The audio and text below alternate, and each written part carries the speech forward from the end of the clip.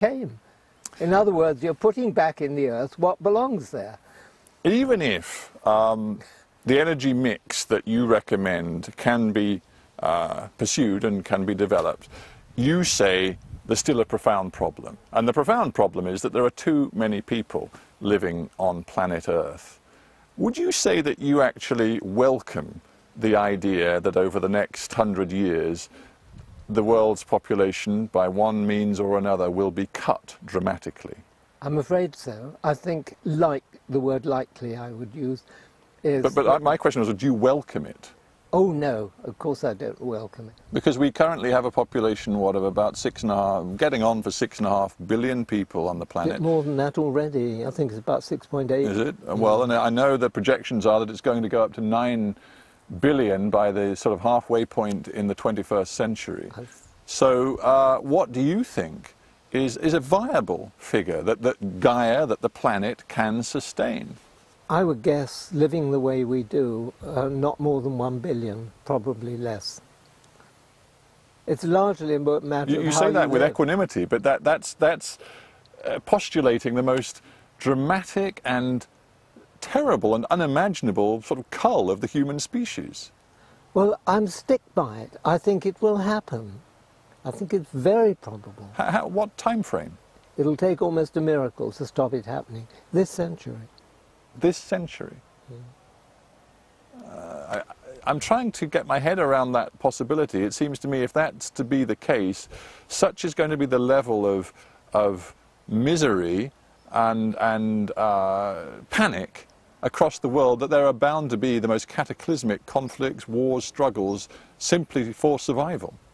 Well, again, that, uh, whenever events like that come along, when, when there's huge floods, famines, there's, there's a certain amount of struggling, but there's an awful, also an awful lot of good comes from it.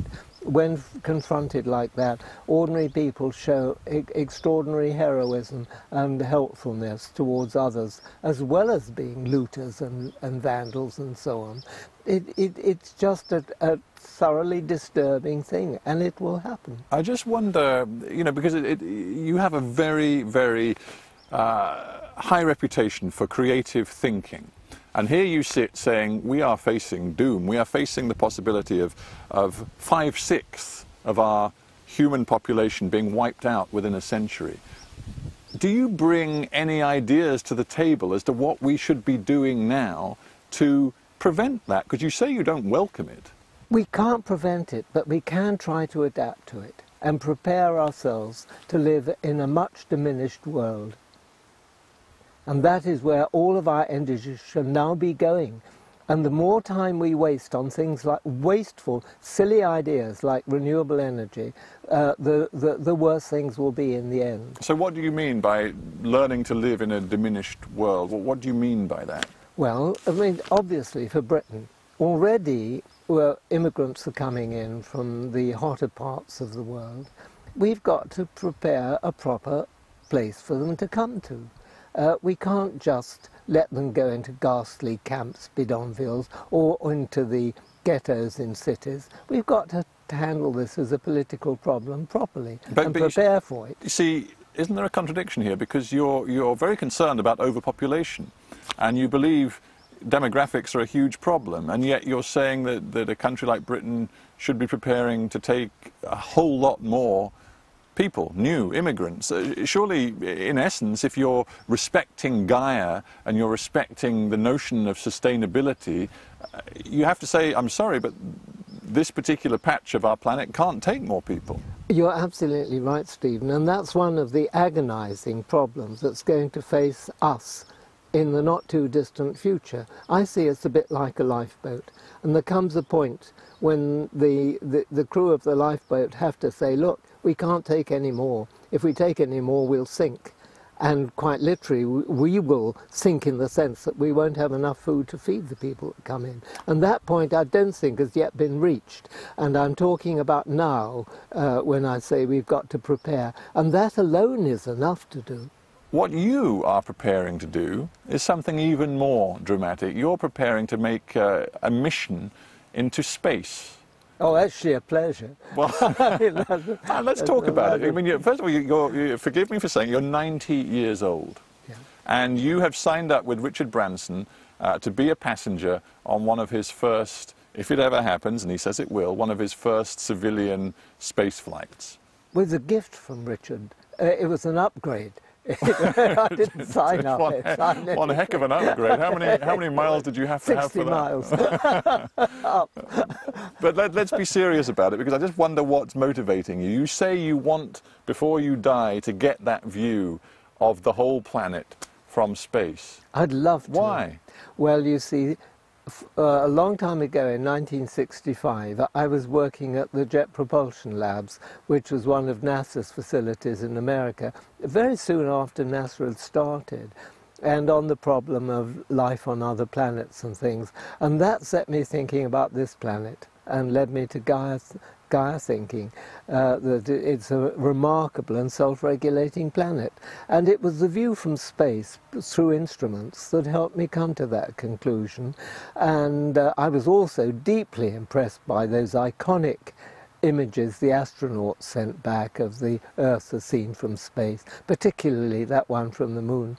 And just to have a bit of a chance to see that in my lifetime. It's wonderful. You wouldn't miss a thing like that, would you? Well, I, I haven't got enough air miles, but, but even if I uh, had, I, am seeking, a, I suppose, a, a, to dig a bit deeper into your motivation. Do you believe that humanity has proven itself unable to live in harmony with planet Earth, and that therefore humanity's future has to lie beyond Earth in, in colonizing other mm. places in our mm. universe? Most definitely, I don't. I think it's obscene even to think about it. Really? We have a beautiful planet which may be unique. But you say we unique. have despoiled it and damaged it to a point where we, most of our population is going to die. No, things that evolve always muck up their place.